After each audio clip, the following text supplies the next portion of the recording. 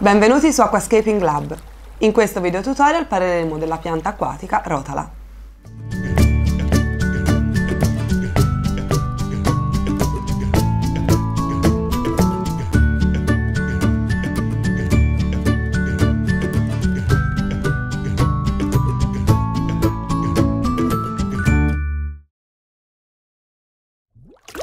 La rotala deriva dalla famiglia delle litracee e ha origine in natura nel sud-est asiatico.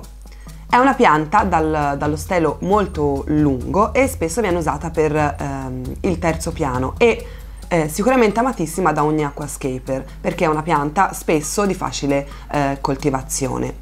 O, ovviamente ha bisogno di grandi nutrienti per la sua crescita molto veloce. Adesso andiamo a vedere le varietà di rotala più diffuse. Rotala rotundifoglia è originaria del sud-est asiatico, Cina, Myanmar, Vietnam e Giappone. Ha una crescita molto veloce e il colore rossastro-arancione che assume con la presenza di luce o verde se la luce è poca dà un bel contrasto con i verdi delle altre piante. Il nome latino significa dalle foglie rotonde e infatti la pianta cresciuta fuori dall'acqua, nelle culture idroponiche delle grandi aziende produttrici di piante d'acquario, ha delle belle foglioline tonde, ma quando viene collocata in vasca, completamente sommersa, le nuove foglie che si sviluppano in acqua non sono assolutamente tonde, ma sottili ed allungate anche 2-3 cm o più.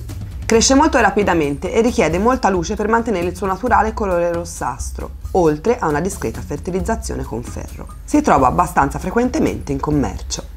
Rotala tende a formare delle radici aeree che si aggrappano ad ogni cosa e eh, si interrano con molta facilità e nel comportamento assomigliano quasi a degli stoloni perché ovviamente si incurvano e vanno a cercare il fertilizzante.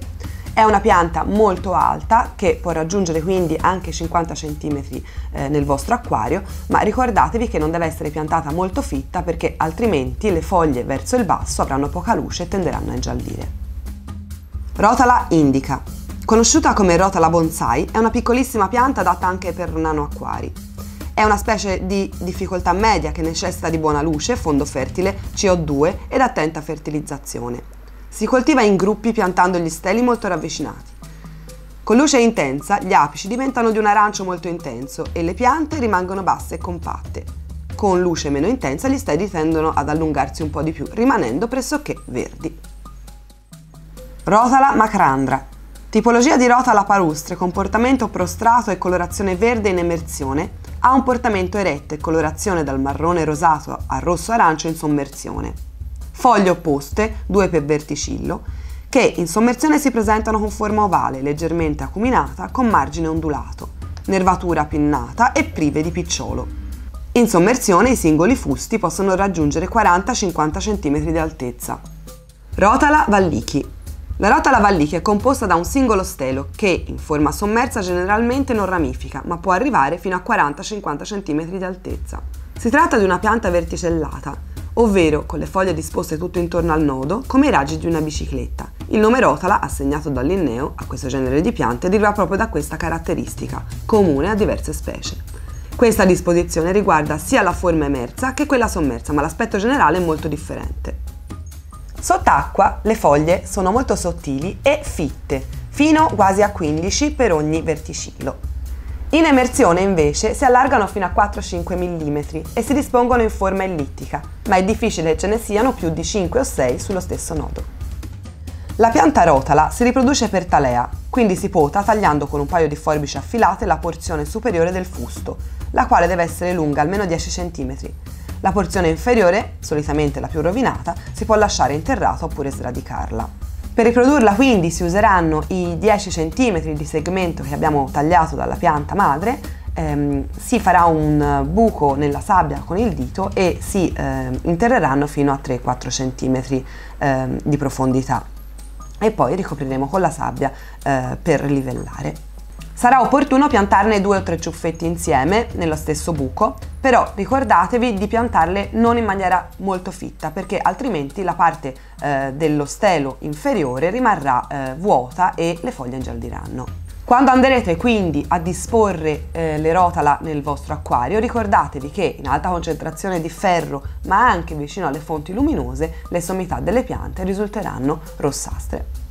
Può essere coltivata in acquari chiusi ed aperti. Il substrato deve essere concimato in quanto l'apparato radicale è molto sviluppato.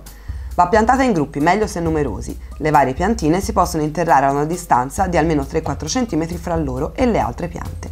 Richiede ovviamente molto nutrimento e l'uso di fertilizzanti eh, sia liquidi che solidi, come il ferro chelato e il potassio. Consigliata quindi la somministrazione di CO2 e una forte illuminazione, almeno 0,5 watt per litro. Temperatura consigliata fra 22 gradi e 28 gradi Celsius. Il pH range fra 5.5 e 7. Il GH range fra 4 e 15 la luce richiesta molta, la velocità di crescita medio-alta e la difficoltà di coltivazione medio-difficile. Se volete quindi inserire la rotala nel vostro acquario, vi ricordo che il prezzo al vasetto di una di queste piantine è di circa 5 euro. Grazie per essere stati con noi su Aquascaping Lab. Per maggiori informazioni ti rinvio al nostro sito ufficiale www.aquascapinglab.com. Metti mi piace a questo video se hai bisogno di informazioni, digitale qui sotto e iscriviti al nostro canale per ulteriori novità. Grazie!